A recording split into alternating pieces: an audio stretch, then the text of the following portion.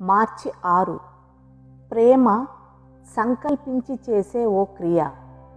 ఆజ్ఞాపించి ఎవరినైనా ప్రేమింపగలిగేలా చేయగలమా? చేయగలం. నిజమైన క్రైస్తవ ప్రేమ ఏమిటో మీరు అర్థం చేసుకున్నట్లయితే. చాలామందికి క్రైస్తవ ప్రేమ ఒక భావోద్రేకమనే తప్పు భావన ఉంది. అది మనం ఇతరుల్ని చేరుకునేలా చేర్చుకునేలా చేసే ఓ ప్రత్యేక రకపు మతపర భావోద్రేకం అన్న భావన. అయితే ప్రేమలో భావోద్రేకం ఇమిడి ఉందన్నది నిజమే. కానీ క్రైస్తవ ప్రేమ ప్రాథమికంగా మనం సంకల్పించి చేసే ఓ క్రియ. అంటే ఇతరుల పట్ల దేవుడు ఎలా వ్యవహరిస్తాడో మనము అలాగే వ్యవహరించడం. అలా మనకు ఇష్టం లేని వ్యక్తులను సైతం ప్రేమించడం మనకు సాధ్యమే. అన్ని సమయాల్లో మనం సంకల్పించి ప్రేమ భావనలు తెచ్చుకోలేకపోవచ్చు. కానీ మనం సంకల్పించి ఉండాల్సిన రీతిగా మన వైఖరులు క్రియలు కలిగి ఉండగలం. ఎవరైనా మనతో దురుసుగా ప్రవర్తించినప్పుడు అందుకు ప్రతిగా దయగా మనం ప్రవర్తించగలం.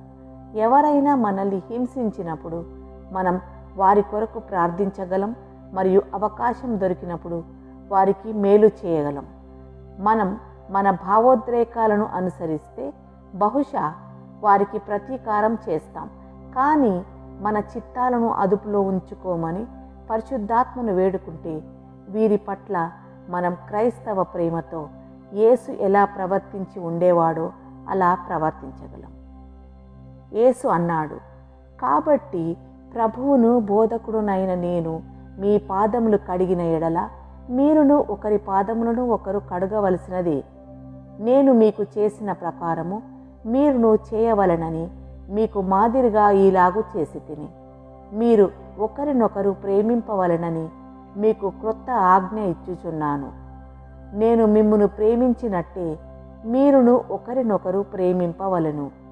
యోహాను పదమూడు పద్నాలుగు పదిహేను వచనములు మరియు ముప్పై నాలుగో వచనం. ఇవి కూడా పరిశీలించండి. లేవియ కాండము పంతొమ్మిది పద్దెనిమిది ముప్పై నాలుగు వచనములు. మార్కు సువార్త పన్నెండు ముప్పై నుండి ముప్పై రెండు వచనములు. రోమా పన్నెండు తొమ్మిది పది వచనములు. చేయాల్సిన పని మీరు దేవుని ప్రేమతో పొర్లిపారేలా చేయమని దేవుణ్ణి అడగండి. మొదట ఇంట్లో ప్రారంభించి అక్కడ నుండి బయలుదేరండి.